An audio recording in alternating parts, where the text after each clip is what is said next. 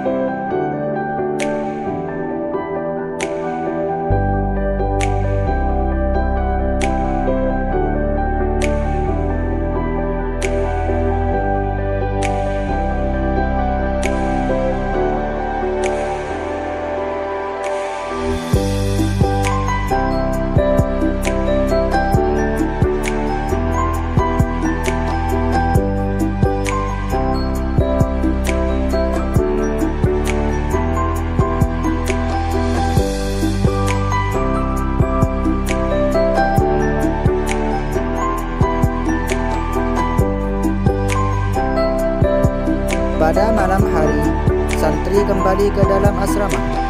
Kegiatan selama di asrama, murojaah dan didampingi pengurus kamarnya masing-masing sampai jam 11 istiwa.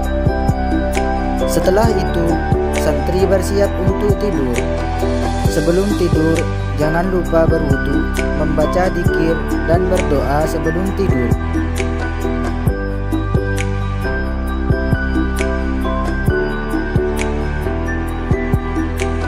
Sahabat santri, itulah kegiatan santri selama 24 jam. Oke sahabat santri, sampai di sini dulu videonya. Sampai bertemu di video selanjutnya.